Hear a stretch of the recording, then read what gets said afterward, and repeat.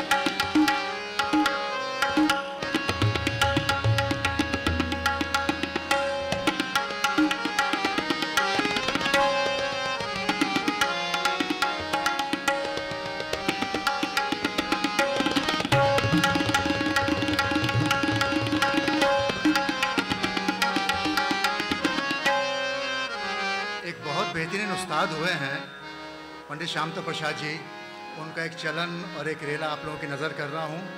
गुस्ताखी की माफ़ी चाहूँगा, बहुत अच्छा बजाते थे मैं तो कोशिश कर रहा हूँ।